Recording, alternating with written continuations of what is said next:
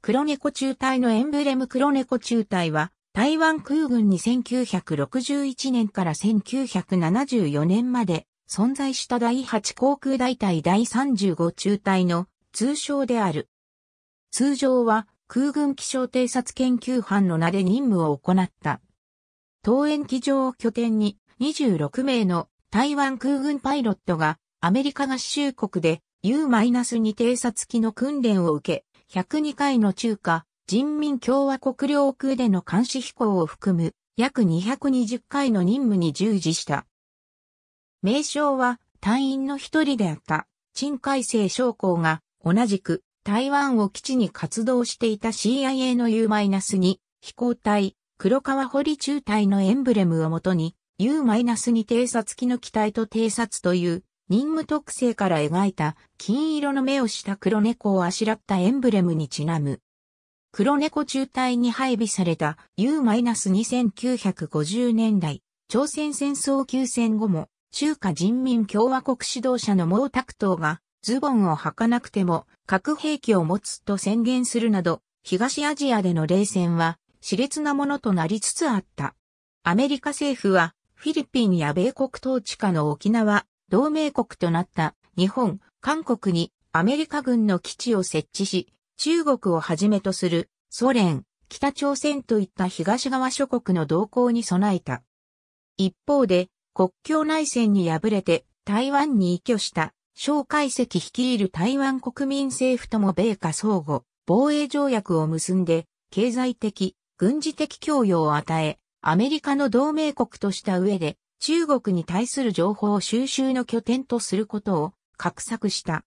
当時、偵察衛星による偵察技術は未熟で、中国奥地の明確な情報を得るためには、U-2 などの高高度偵察機による偵察飛行以外の方法はなかった。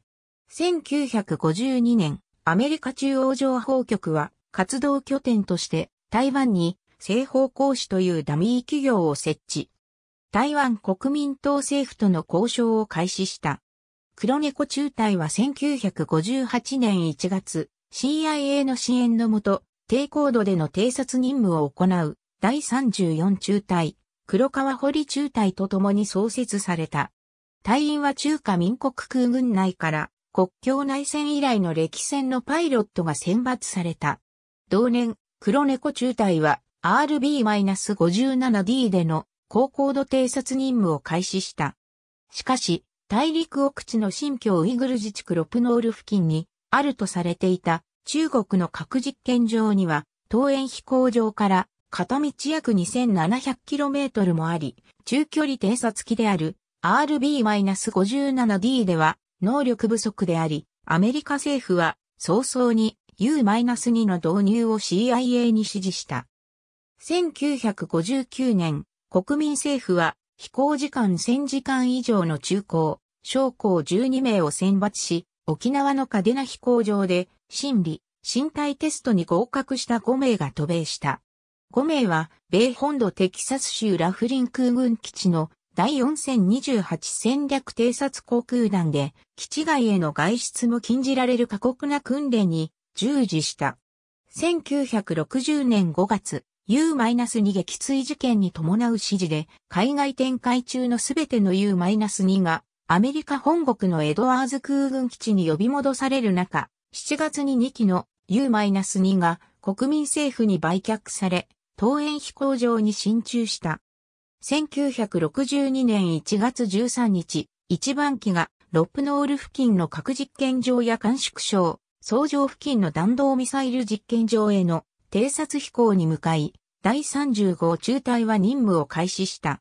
部隊は台湾国内からのみならず、韓国やフィリピンの基地からも偵察任務に向かい、1965年までに約30回に及ぶ中国大陸奥地への偵察任務に従事した。1966年になると、大陸内部への偵察任務は減少し、沿岸工業地帯での飛行任務が増加した。それでも中国が1967年から1969年にかけて実施された大気圏内水爆実験に際しては水爆の死の灰を収集するために囚人機を装備した U-2R が2機投入された。このほか、小解析は黒猫中隊の偵察機に、帰投時に浙江省寧波市郊外の谷口鎮上空を飛行させ、自分の母親である大埼玉の墓所を撮影するよう命じていた。墓所が荒らされていないかを危惧しての行動であったが、整備されているのを確認した小解析は安堵したという。黒猫中隊は一回の偵察飛行で数千枚の写真を撮影し、その写真は特別機でアメリカに送られ、CIA 写真解析センターで分析された。黒猫中隊によって収集された写真は、中国の核兵器開発の状況を正確に把握した。また、中祖国境付近での軍事力増大から中祖対立の拡大を明らかにしたことで、リチャード・ニクソン政権下での米中国交樹立に貢献したと考えられている。1972年、ニクソン大統領の中国訪問から間もなく、中国大陸への偵察飛行は全面中止となった。1974年10月に黒猫中隊は解体され、アメリカ側の隊員と6機の U-2R は帰国した。偵察飛行には毎回アメリカ合衆国大統領と小解析の承認が必要であった。撮影された写真は主に在日米軍基地で現像された。米中国交樹立に伴う部隊解散に際して、米国は台湾国民政府に偵察衛星が撮影した中国の画像を提供すると約束したが、提供された画像の解像度は低いものであった。部隊はアメリカが U-2C あるいは U-2R 偵察機を供与し、整備などを支援する一方で、台湾は基地と隊員を提供することで構成された。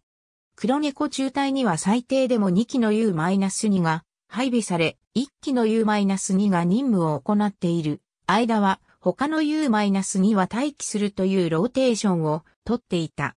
撃墜や事故による喪失があった際は補充され、14年間の間に合計で19機の U-2 が黒猫中隊に供与された。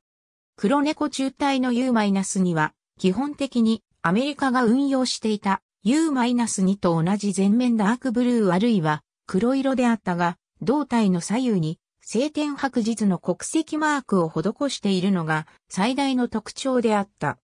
隊員は台湾空軍の中から選抜され、毎年1から5名のパイロットが渡米して約1年間の飛行訓練に従事した。1971年に訓練計画が中止されるまでに30名中27名が終了し、3名が訓練の途中であった。北京の中国人民革命軍事博物館に展示された U-2 残骸元より国民政府は大陸反抗を古豪し、中国本土も本来は国民政府の統治すべき地域で、そこを台湾空軍の航空機が飛行することを何ら問題にしていなかった。また、当時の中国空軍の地対空ミサイル大隊は、わずかに北京軍区と南京軍区にそれぞれ1個大隊しかなく、しかも大隊が保有するのは、命中率2%と US-25、米ルクトの発射機5機のみであった。しかし、人民解放軍空軍の遠距離系解網が優れており、U-2 の離陸から着陸までをほぼ100%探知していた上に、レーダーと地対空ミサイル部隊の連絡が充実していた。しかも、国民政府は飛行コースを兄に選んでおり、1962年7月までの11回の偵察飛行のうち、8回が厚生省南昌市上空を飛行していた。このことを知った中国人民解放軍は、地質掘削調査隊を装って、地対空ミサイル大隊を南昌に移動させ、U-2 を待った。これが同年9月9日の最初の撃墜につながった。結果として、中隊が存続した14年間の間に5機の U-2 が中国人民解放軍空軍の地対空ミサイルで撃墜され、3名のパイロットが戦死し、2名のパイロットが捕虜となった。中国が U-2 を撃墜できるようになったのは、口述するように、ソ連での U-2 撃墜事件でも使われた SA-2 など、ソ連から導入した高高度地対空ミサイルを配備したためである。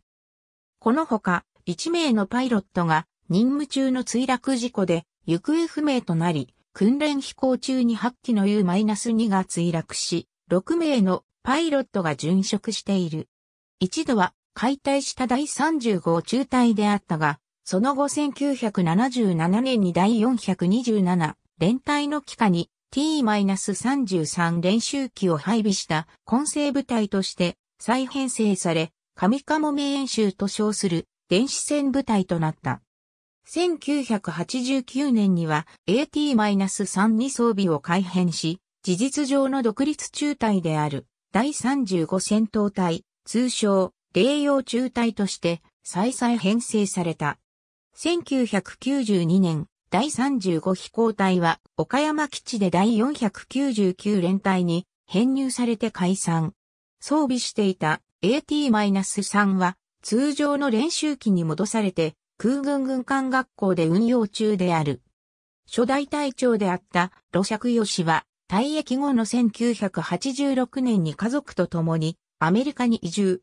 中国国内の台湾軍捕虜の人権、特に台湾への帰還の権利を訴える活動家として活躍し、2008年12月15日に死去した。隊員の一人であった大鈴尺は1965年に退役後、中華航空のパイロットとなったが、父親に会いたい一心で1986年5月3日に貨物機で中国に亡命。中国民航のパイロットを経て60歳で定年退職後は民航総局河北分局副局長を歴任した。2010年3月26日、行方不明となった長将と訓練中事故死した8日、河名高が国民革命中列祠にいるしされることが決まった。